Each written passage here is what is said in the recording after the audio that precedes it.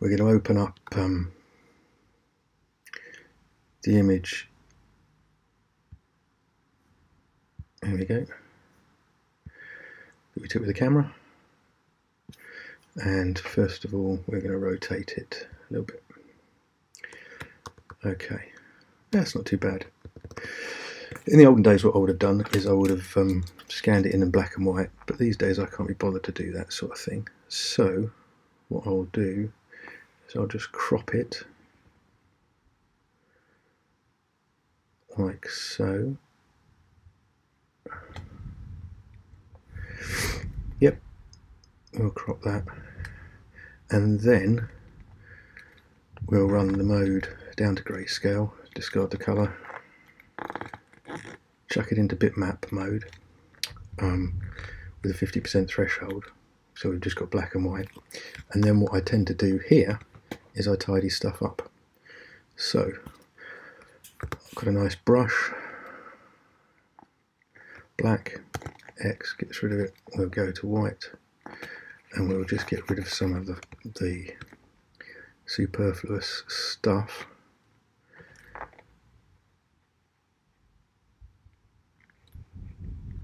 and tidy up some of the lines. It's not so bad actually because this one we're just going to do black and white. So it's not so shocking. If I was going to add a colour layer, what I tend to do is add a colour layer over the top as another layer. And then you need to make sure that you've got sealed um, loop, what, do we call them, sealed forms, so that the colour doesn't bleed everywhere. Because I just use a bucket tool and fill them. If you do it a large enough resolution, you don't tend to need to worry too much, I've found, um, about trapping. Trapping is where you, um, so if I filled here, for instance, with something, if I filled there in, in a colour thing, and trapping would mean I would be getting some little kind of like edgy bits and pieces of not the right colour where I wanted it to be. So, um, we I don't know what's going on there. We want to go to. That's great, but what I really want is my brush back. Thank you very much. I think I pressed a Z instead of an X. X, um, for what I'm doing, changes the brush colour from secondary to primary, primary to secondary.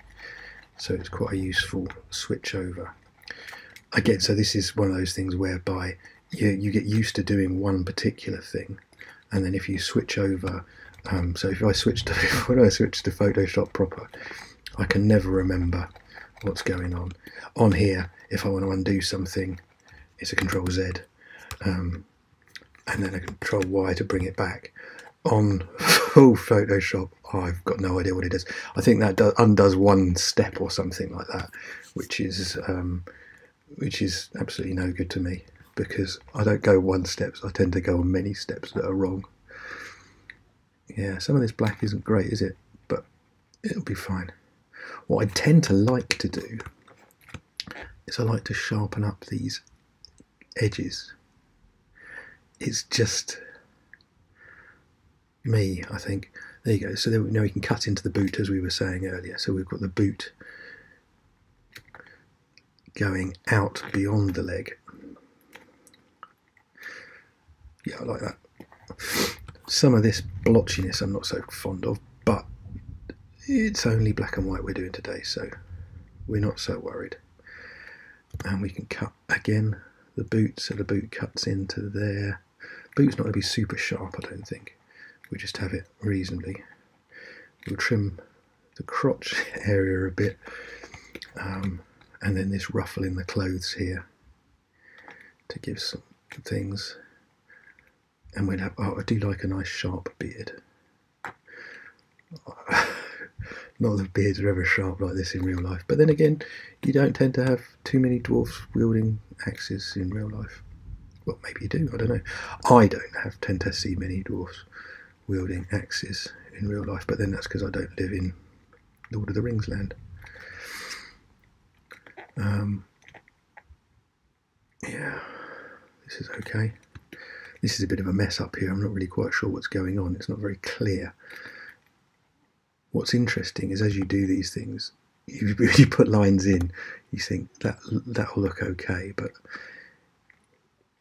if it's unclear as to what's going on, then something's gone wrong with the, the mix. This here is wrong as well, but I'm not really quite sure what to do with that either. Let's just bring him down here and give some more more hair.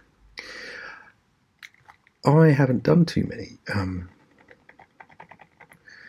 videos of, of kind of inking stuff up.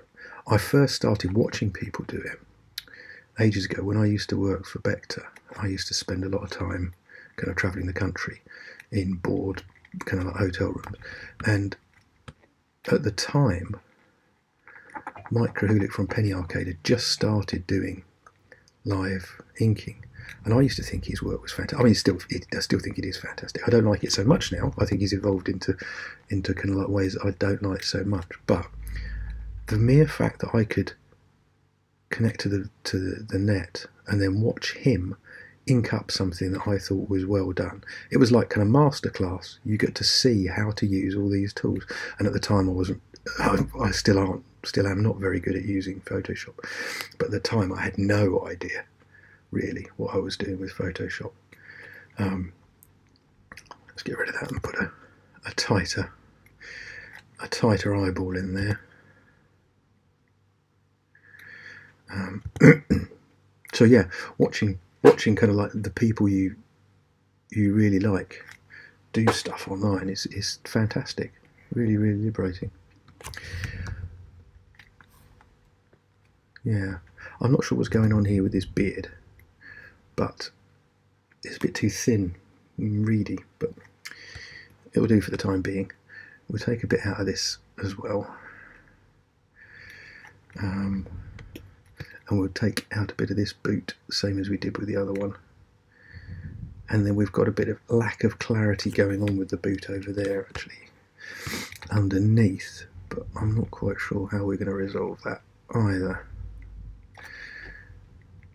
So there comes the boot that comes round, but then the foot is curling round there as well. It's just badly drawn basically. Um, if I was going to do it again, I wouldn't do it like that. Okay, so here's our axe. Let's tighten that up a bit. Get rid of that tentacle part.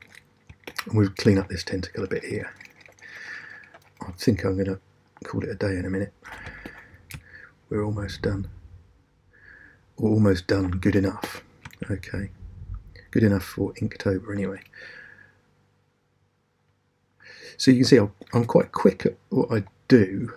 What I do is great, but I am quite quick at it. Um, so the, the sketch took sketch to ink took about 10 minutes. This bit tends to take about, well, up to about half an hour, depending on how precise I'm being and if it's going to be coloured. If it's going to be coloured, it takes a lot longer, uh, I must say. But I'm not colouring this, so we can tighten it up quite quickly. Um,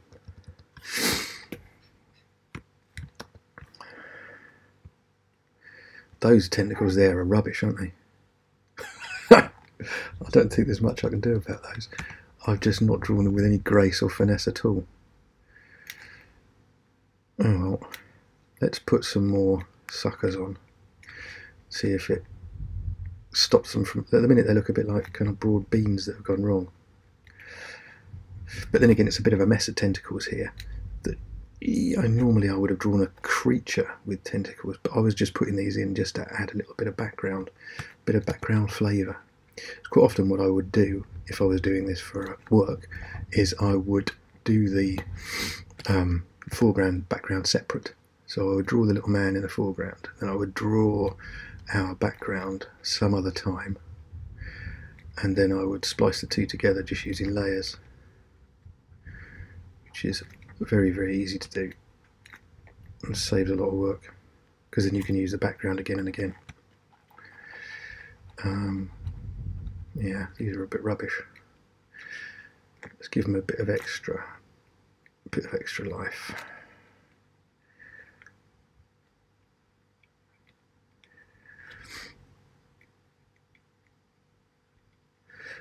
Okay. See if that looks any better. I don't think it does look much better. No, that's that'll do. Okay, so there's our black and white for this fella. Um, then what I would do to take it to the web just as black and white, is I would shrink it down. So in a minute the image is, um, well actually let's, let's change the mode first. So we turn it back to grayscale um, because then it, it, neatens it up a bit. We'll chuck it into um, RGB because we're on screen, that's fine. And then it's going to be too big for use on the on the, the net like this. So if we look at the image size, wowee, 1400 pixels wide. So let's go for something a little bit smaller than that. So we'll go for, for the web, just for a thousand pixels width. I'll, I'll re revert on this in a minute. Um, okay, so that shrinks it down, but that's going to be fine for the web. And then what we'll do is we'll say 5, save for web, and we'll save it as PNG because it's just black and white, which is fine. It's going to be 135k. Seems got a lot for for not one. So A is for for axe. Um, Inktober 2017. We'll chuck that on the desktop and then we'll stick it on the, the blog in a bit. Um, then what I would do if, if I was doing if I was doing this for something else is I would then take it over here and add a layer in um, and then add the colours onto the top. But uh, well I might do that a bit later but not now. That'll do